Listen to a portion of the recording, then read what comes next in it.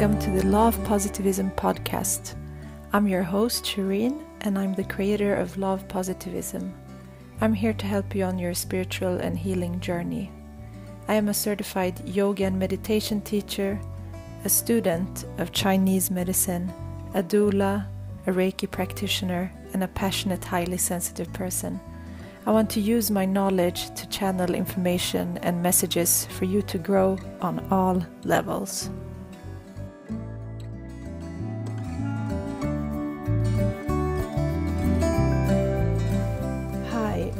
Welcome to the 15th episode of the podcast. I'm very grateful that you're here. I know it's been a very intense week since the eclipse that we had this weekend, and I know that many of you have been feeling it mentally, emotionally, energetically, and also physically in your body. So many of us have felt maybe physically sick, and uh, also dreams and sleep might have been different. So just take it in as a as a download and as a shift that is happening around us and within us. And I'm excited about this week's very important topic. We're going to talk about climate change and what's happening out there in the world.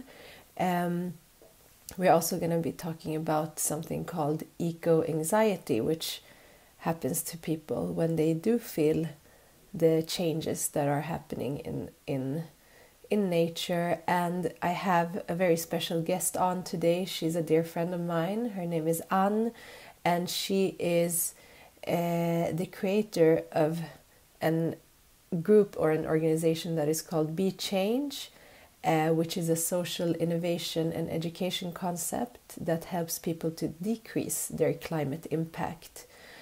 Uh, she has a bachelor's degree in environmental management and psychology and a master's in sustainability development. And she works as a mental coach in climate psychology and she educates both individuals and organizations to to work and live in a more sustainable way. So we tap into what's happening in Australia since Ann used to live there and uh, we talk about how different things in our lifestyle can affect the climate either negatively or positively. And we just talk about what it means to be conscious around nature and the climate. So i really hope that you enjoy this episode and i love to have your feedback and see your reviews. So if you do leave a review on itunes you can take a screenshot and i will do an oracle card reading for you. And if you have any questions you can just contact me or Ann after the episode.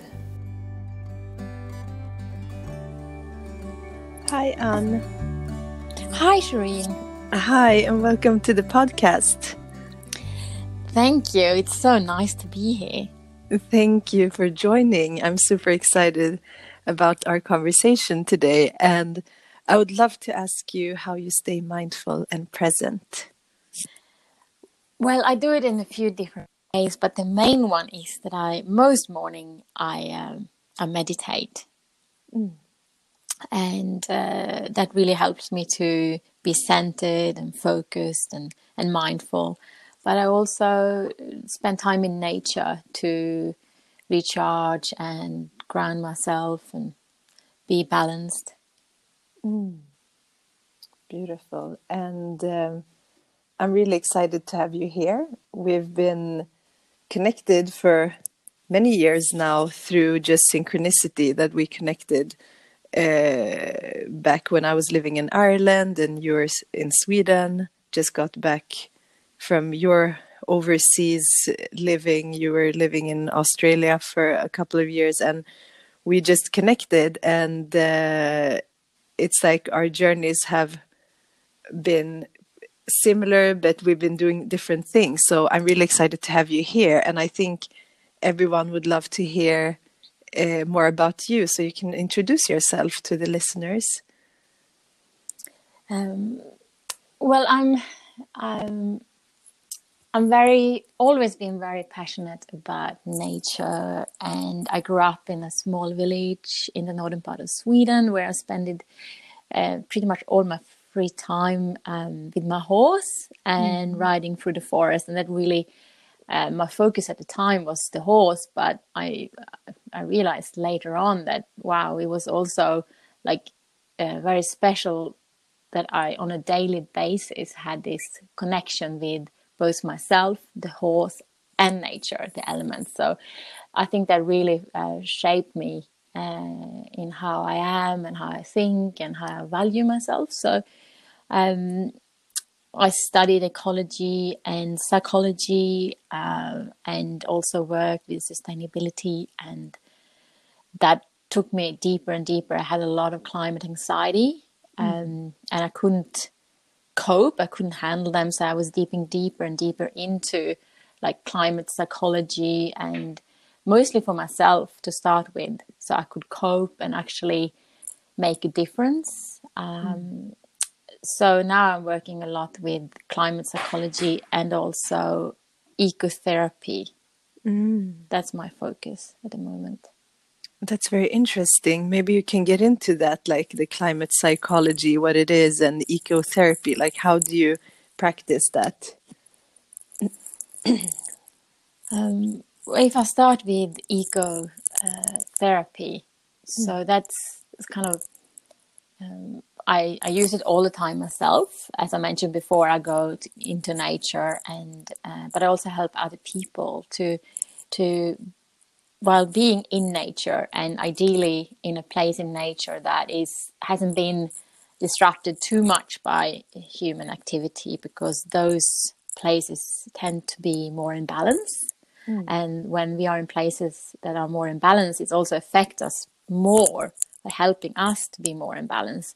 Uh, and by being in these places and using mindfulness techniques at the same time, like meditation, um, can really um, help us to feel a deep connection with Earth and all the ecosystems and the elements um, and and the climate and um, and also the way I work is not only to deepen the connection with the planet, but also deepen the connection with one yourself.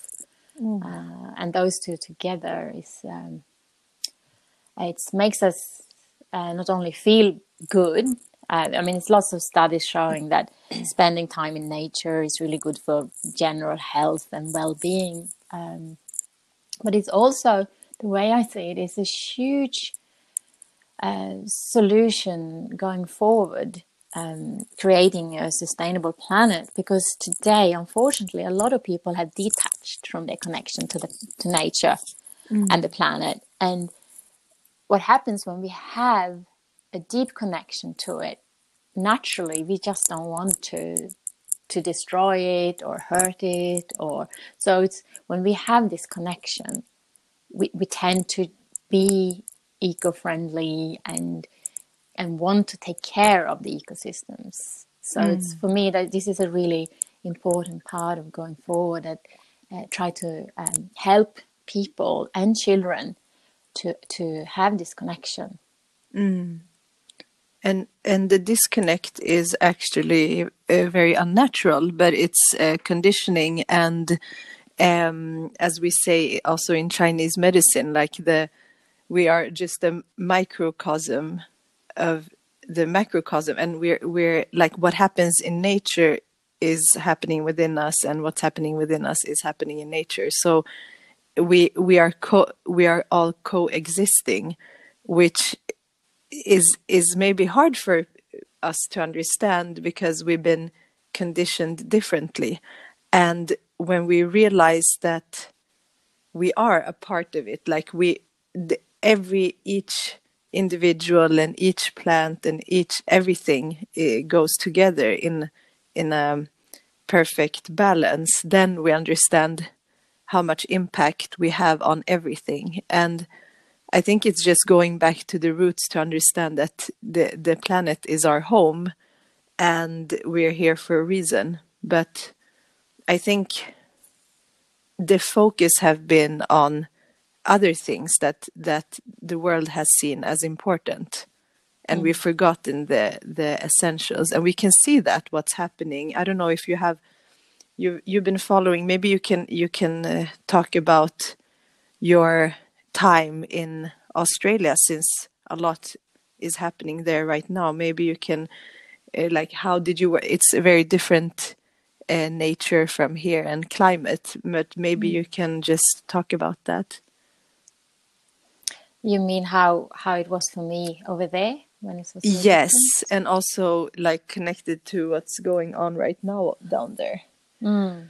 well it's been like i've been experiencing a lot of pain uh, mm. following uh, the developments since the fire started in september mm. uh, it's um, uh, it's heartbreaking uh, but at the same time uh, for me, like if I just think about me, you know, I, I, I have to use all the tools that I know in order to manage all these emotions that comes up. Mm. Because when we love something, um, that's what a lot of people like us we feel a lot of pain when mm. we see destruction of the mm. environment uh, because we feel so much love towards it. So for me, for example, so much Mm. I um, really feel like a part of the land and its nature. And um, for me to see the burning and and uh, knowing how much suffering uh, from the wild animals, uh, domestic animals, and uh, the trees and and the people, it's just like uh, it's mm. very it's very painful, and especially also seeing that at the moment there is no um, uh, it's very it's lacking uh, understanding from the leadership of the country uh, of of um, uh, seeing what is happening and actually doing something about it. So, but um, uh, I've. I'm hoping, uh, I'm holding a vision that at least all this destruction will lead to something positive in the end. for example, that the the government um, and also the, the the minds of the people in general will be like awakened mm. and understanding that nature is part of us and we are part of nature and i mean if you look at how how we are treating nature mm. there is no wonder things like this happens like mm. it's it's a it's a consequence to everything that we do so it's like cause and effect you know we, we can't expect doing something like we have been not getting any results kind of this is not mm. the results we want but um but but it's you know it, it it's not a surprise that this is happening uh, mm. and we need to that's why i'm i'm holding a clear vision of this awakening uh, and um, I believe we can really shift things around. Mm. And it's not. It's like uh, there's a lot going on all over the world with with the climate changes, but it's very mm. apparent mm. now. So before maybe it was we couldn't see it this obviously, but I think also here in Sweden we had the the cherry blossoms that usually bloom in the springtime has already started a little bit because it's getting warmer even here. It is warmer than usual, mm. and we barely had any snow, yeah. which is unusual. So, or at least in southern parts of Sweden. So, I think that, uh, like, nature is speaking to us. I don't think that the planet itself can renew itself. It's done that many times. It's we we have to do something also for the uh, survival of humankind if we want it to go that direction. But what do you think is is like the main issues right now when it comes to the environment? Like what is causing this a lot? I know you're you're working with this so mm. maybe you can get into that well, if we look at just the, the climate mm. change, then it's we, you know, we emit too much carbon emissions mm. that makes the weather warmer. So, and we have a behavior that creates a lot of emissions, most of us, mm. and we and businesses and governments um, as well. and uh, so we have been doing it basically since, since the industrial revolution Mm. and and we reached a point now where we see clear changes like for example i live in the northern part of sweden and this is the first time that i can remember that actually in january i can't even ski outside Mm. I can see the grass, which you know it's unheard of. So, and it's it's um, we for the human psychology, it's it's we it's really hard for us to to see to take in that my behavior, my lifestyle, and for a lot of like if you if I think about like my parents' generation and the generation before that, my grandparents, like the industrial revolution and the the progress was was such a, a positive thing because quality of life increased. Um, you know, you could have better heating at home, and you you know you didn't have to to struggle as much. So it was mm. something very positive. And then to to take in and realize that this also have some negative consequences. Mm. And so we, we want to it's very easy to go into denial in, in this whole um, in this whole area. And and mm. that's i think is why it's taken so long for us to do something. And this ha- this is both when it comes to us personally but also uh, businesses and governments um, so that's what I focus on to work with the human psychology to help us be able to actually look at this, these issues in a way that doesn't create blame or shame or guilt or just like like more as a matter of fact. Okay, have a look. What does my lifestyle look like? What kind of emission does it create? And how far off am I to living a sustainable life? uh, that we can actually continue to live on this planet. And um, uh, there's a lot of climate calculators out there, and they are not exact, but they give you a rough indication, and they can really show you where your big emissions are. Um, and and people also want is for, for a lot of people it's really hard also to look at this because they feel threatened they feel like oh if i'm going to live a sustainable life. My life's going to be boring and i have to you know stop doing things that i love. But it's not like that actually. Um, in my work with be change um, we we shown that by focusing on um, taking one step at a time, focusing focusing on the right things, and including quality of life in all the changes that you do, you can actually have a better life than you had before while you're living in balance with the ecosystems and the climate. So so and but people doesn't know that. So when people in like on Facebook see things, they don't they just scroll past it. They don't want to because they there's so many triggers connected to this. That's true.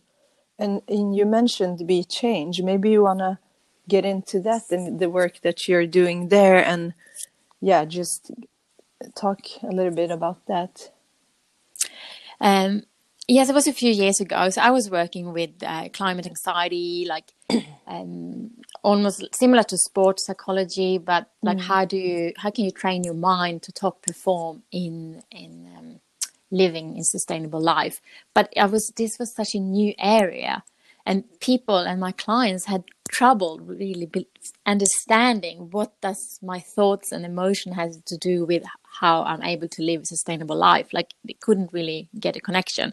And then I met is um, this woman, Stina Sundqvist, uh, that lives in the same town as I do, and she was coaching people to reduce their carbon emissions, and she had trouble keeping up people's motivations, um, not falling back to old habits and all that. So when we were talking to each other, it was like, but what happens if we combine mm, um, our uh, methods to, to one method? Uh, so we put the, both then the inner work and the outer work into one uh, methodology that is called now Be Change. Um, that we work uh, then both with the human psychology and also being very practical and real. Um, and it has proven very effective. Uh, like on average, uh, our participants and almost half the carbon emissions i- in only three and a half months. Uh, and and their and their changes remains afterwards as well. And while they also feel like uh, their quality of life has improved uh, there's about 80% of participants and 20% feels like it's the same and they feel more hopeful about the future. Um, so it's it's really fantastic to to to know and to work with people and see the changes they're they are able to do um, because when we um, it's it's some it's a, like a psychological concept called cognitive dissonance. And it's when when how we our every, each person has values uh, inner values. And when the gap between our values and how we actually live in the world becomes too big uh, then we feel this um, cognitive dissonance and it, it's it's really not feeling good. It's it's it's like a it's un, a very uncomfortable feeling inside because you're not feeling like i'm living an authentic life. Mm. So in, in be change we really help people to to get that gap much shorter much smaller. And what what i see at the end of a course is kind of a glitter in the eyes of the participants. And that's that kind of feeling that i am able to be authentic um, and that's for me that's one of the most satisfying parts. Also of course knowing that we living more in balance um, with the planet and and that's of course is the the main one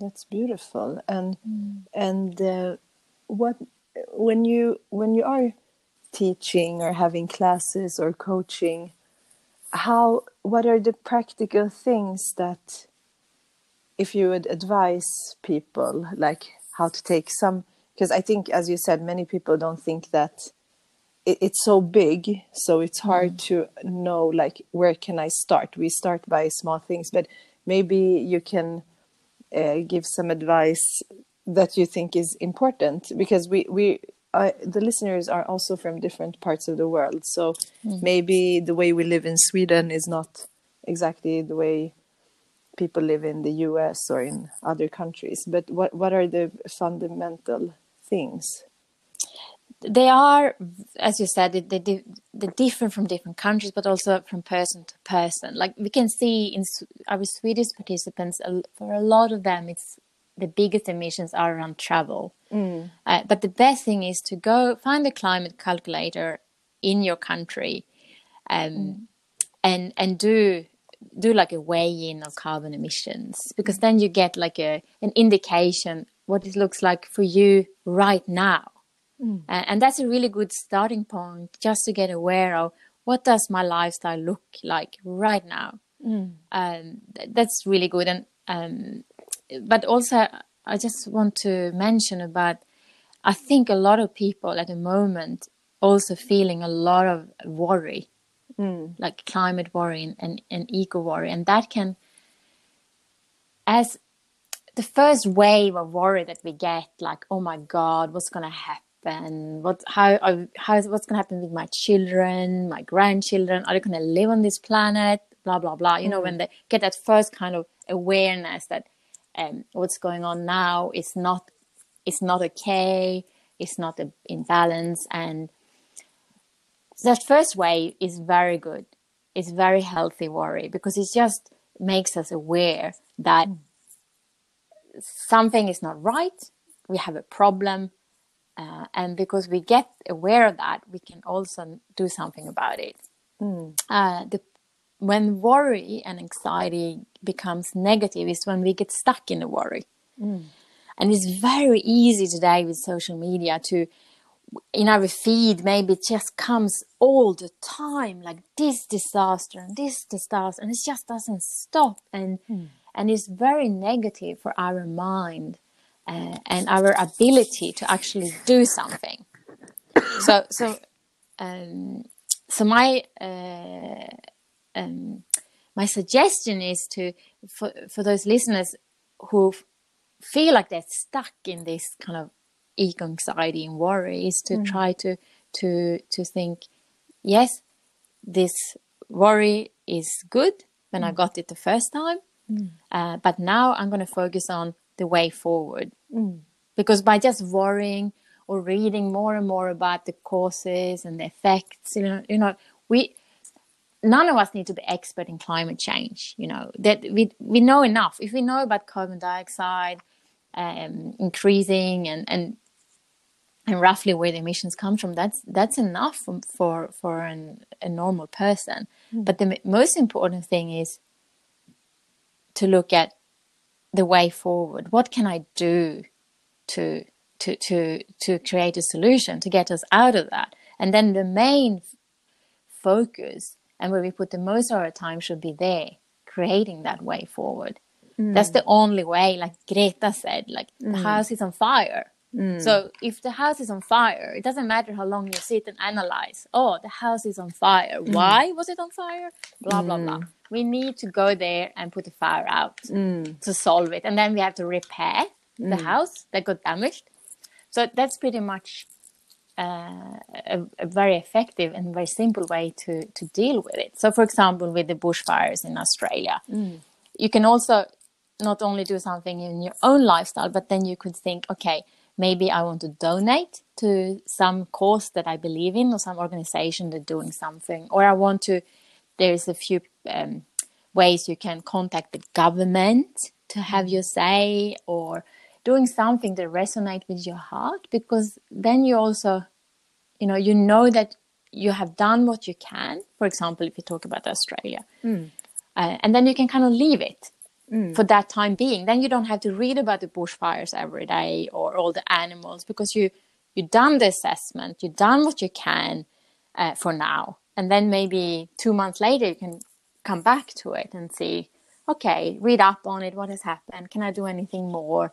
Um, but it's but it's not like we all uh, should or need to like support Australia. I think we should really follow uh, our hearts and where we are drawn, uh, because we're not meant to that every single one of us are involved everywhere. Like you know, we have a con- we have connections, we have callings, and we should trust them. Yes, and and the fires have been in many places in the world, and the, the Australian one has been very big and also very talked about in media. So the hmm. awareness is there, but it it's not really like when we make a change, we make a change for the whole world. So we're not just making a hmm. change that impacts one country; it makes a change for all of the world, and even if we're kind of feeling safe up here in the north right now because we don't have that type of heat but um it still affects our climate. So i think uh, there is a positive wave now uh, a positive um, i think the, the the conversation is so open now as well. We we didn't talk about these things as much maybe 10 15 years ago as we do now. Um, and it's because it went so far. And um, uh, highly sensitive people are uh, and empaths are feeling what the earth is going through and uh, what animals are we're connected in different ways. So we're extra sensitive. Um, and um, i think maybe we can also tap into like the positive um, we can see some positive waves now that probably are making impacts on the emissions and everything. What do you see has been like the couple of just these past years positive changes that we made as individuals Yeah, there is there is a lot. I mean, just in Sweden, you can see a lot of people are when they can, they choose to travel by train, for mm. example, and so much more people are eating vegetarian food.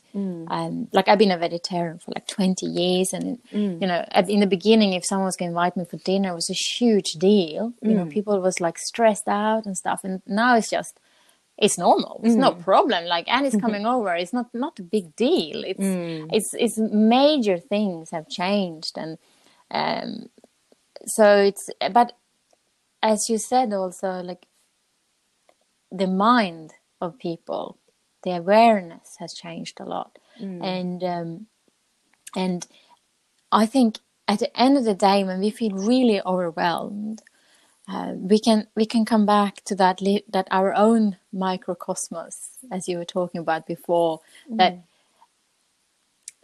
and also Be Change is is inspired by be the change you want to see in the world. So by just being yourself and and doing your practice to be a loving person, uh, compassionate and kind, and and working through your own stuff and raising your awareness and raising your your um, vibration.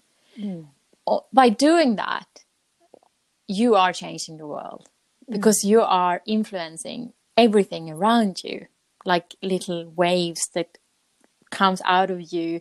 And we all have different paths. Like some people yes we are supposed to be on big uh, stages and talks and whatever but some of us we make huge change of just being who we are and taking that personal responsibility. You know when i feel when i'm having a negative feeling that i own it you know instead of just putting it out there over other people just a little thing like that uh, to to work on your own personal development to be the change you want to see in the world. So um, for for example you and i Shireen, we want to see a world where people are uh, love based and kind and compassionate and we live in harmony with ourselves and each other and the animals and the trees and it's beautiful you know?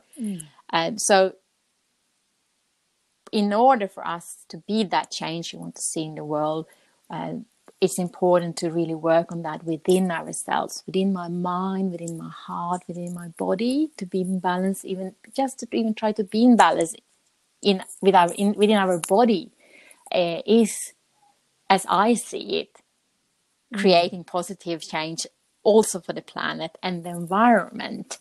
Uh, for example myself when i started when, um, when i was had my peak of eco anxiety and worry. I was the opposite you know. I was angry. I was frustrated. I was like thinking so much um, like black and white thoughts like oh it's that company's fault. It's that government's fault and this person is bad. And i was like i was not the change i wanted to see in the world. Uh, and it was not nice for me. It was not nice for uh, the people around me. And uh, luckily i realized that this was not an effective way of uh, working for the planet. That is my mm, you know my my calling. Uh, so i could i could change i could switch uh, over. Yeah, and when we harbor, eh, when we harbor uh, emotions like anger or fear, it comes from a source within us. So we need mm. to know what we need to work with ourselves. And it's mm. healthy to have different types of, of emotions and understanding them. And again, a Chinese medicine example, like we, we mm. it's healthy to feel all emotions and but it's not healthy to have exaggerated emotions because it does affect our uh, microcosm like our organs and and the way we function our health. And that that vibration we set out that does change the shape and form of everything around us and in the world. So i think what what is happening now and i see it so clearly also within our spiritual community is a lot of meditations gatherings and uh, dedication to mother earth. And i think in all of our practices most of us we work with with the earth. And i i had a very profound uh, experience one night where i did feel uh, or did get messages also from the animal world. And they are highly in tuned with everything. And nature is their home. Like we have kind of built a society where we can protect ourselves from what's happening in nature but animals can't. Like they cannot put out the fires and they can't um, like it, it's hard for them to to survive natural disasters. And uh, I think that's important to know, and also that uh, w- nature and the earth will persist.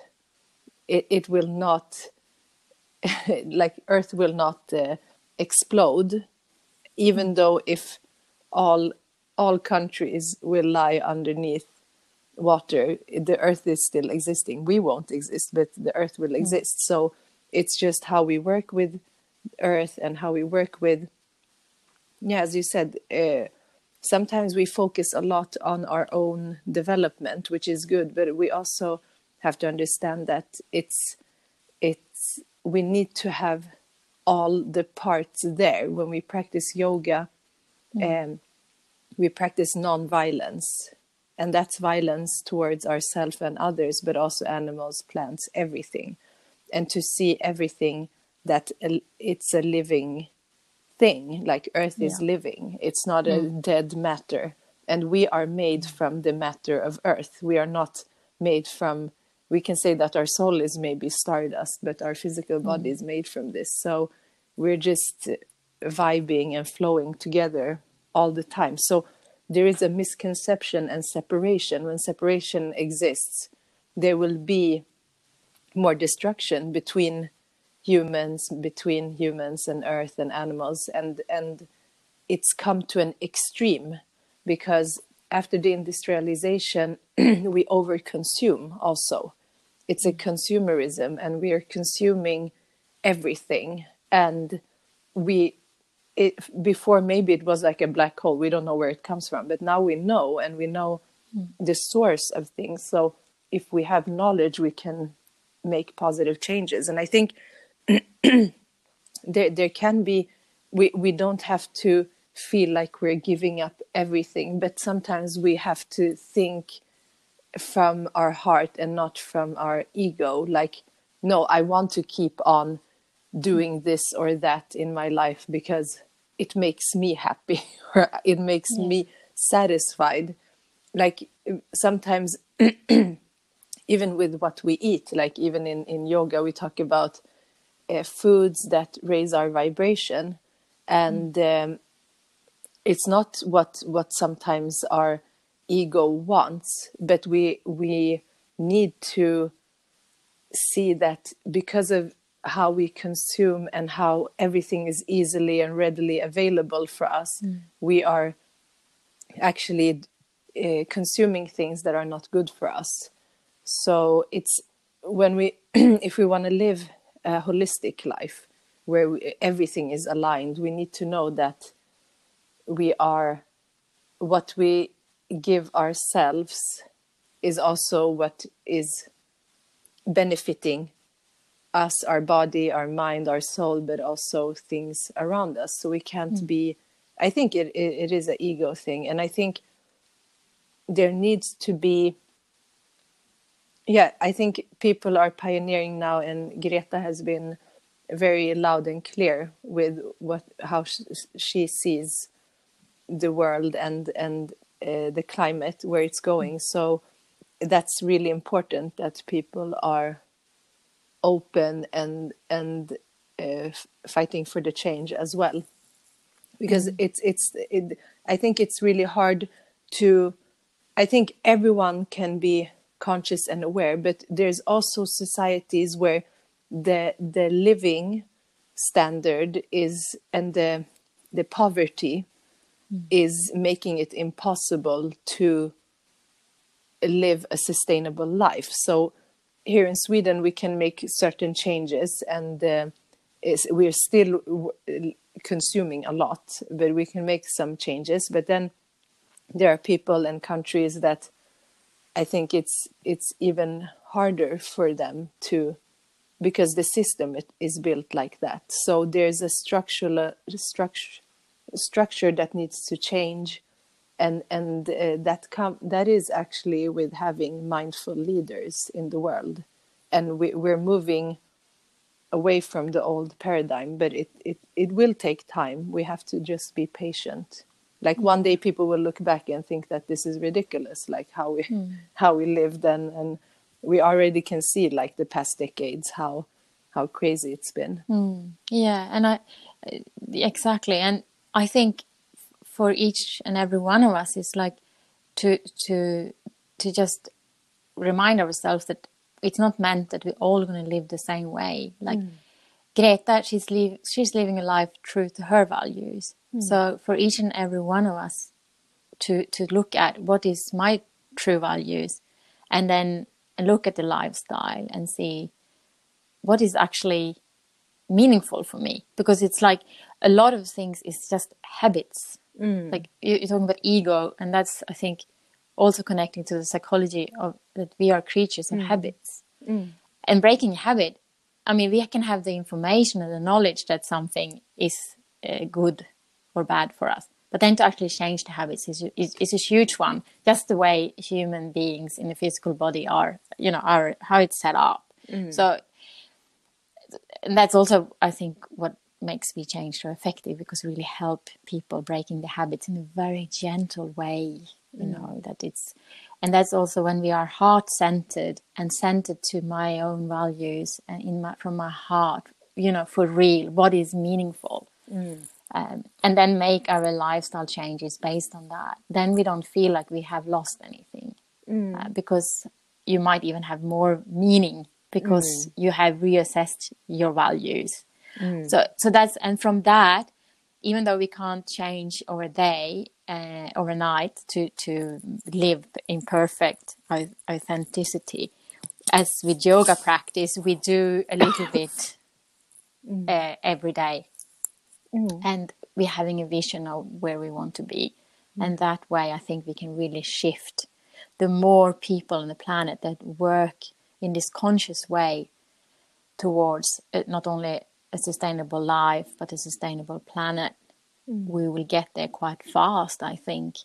And and that's this is also what i i see a lot like that some people they really focus so much on the physical like how much emission is this and how much emission is that and like the, the, the real physical one and they forget and they get might get stuck in anger resentment bitterness uh, and then we have the other side um, that gets get focus so much on the inner like on the personal development and meditation uh, and things like that and and forget about the physical a little bit.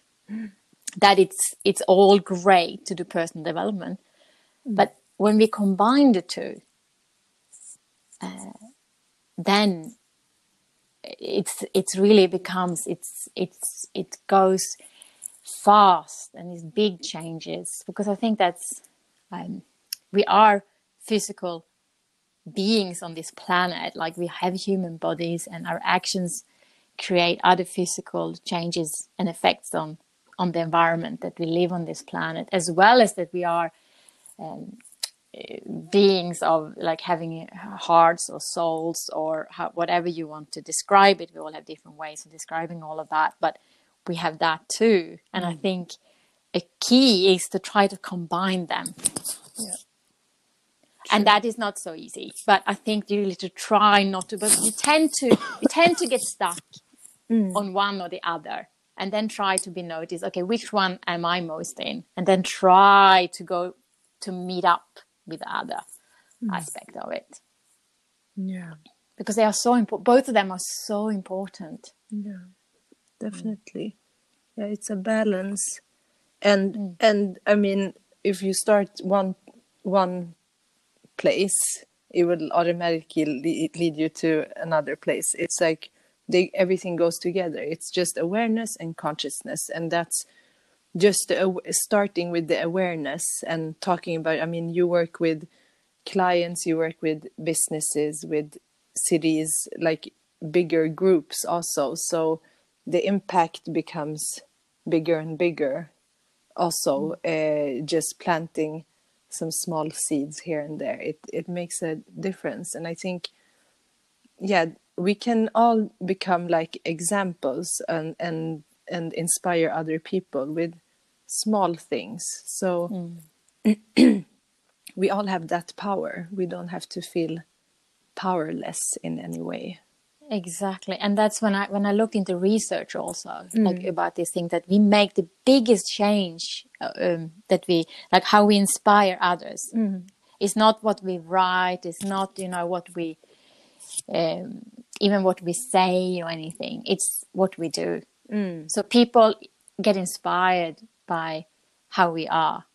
So, for example, um, when we manage to live a sustainable lifestyle that also very happy and meaningful, um, and I'm a contented and balanced person. When people see that, they get inspired and go, "Oh my God, it's possible! I also want that." And they might, they're probably not even going to say anything, but just by being an example um, and just being, we don't have to say anything. We just live our life true to ourselves.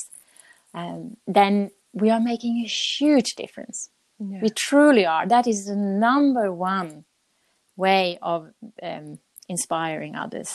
How we live, how we are, not what we say, not what we write. And that is sometimes when I have a day, if I feel frustrated, oh, it's not changing fast enough, blah, blah, blah. So- But then I remind myself, okay, but just being me, you know, doing my own work, and um, uh, then I'm actually making a huge difference. So true. Beautiful. And uh, how can people get in touch with you and work with you? I, I'm thinking about all these services that we talked about now during the podcast. They can go to, I have a website that's called earth.eu.com, mm-hmm. and there is a link to uh, bo- to Be Change to. Mm-hmm. Otherwise, it's bechange.se. Mm. Great. I will share all of all of the links in the show notes as well. And do you want to close off with anything? Mm, it's been so lovely to have a chat with you, Shireen. and uh, it's so nice to talk about this subject. It makes my heart sing and it feels very meaningful for me to have this type of conversation. So uh, I'm very uh, grateful for that. And I just say, I just hope that um, everyone that listened got something useful out of it. Uh, and uh, and yeah, together we can really create the future that we want. Yes. Thank you so much for taking your time. I'm sure so many will get inspired by this, and um, I'm excited to see the work that you're doing and and uh, the changes that you're creating. So thank you so much. Thank you. Thank you so much for listening today. I hope that this brings more clarity and also guidance when it comes to how to start living a more conscious and eco friendly life and just understanding that it doesn't have to be a major life change that you have to do all at once. It, it can be done step by step, and just awareness around it is is a, a good start. So I really hope you enjoyed this. And if you do want to get in touch with Ann, I have all of her links in the show notes. And if you have any questions or feedback after the episode, I'm happy to to connect with you. So let's take a deep breath in through the nose and exhale through the mouth. Thank you for listening and namaste.